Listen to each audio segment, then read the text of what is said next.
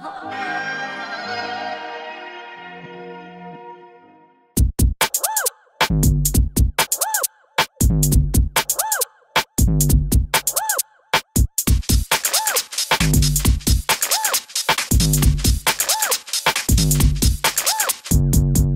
sort of references were very much around sort of uh, well, it was Paula Yates to begin with, Yeah. and then her kind of Englishness.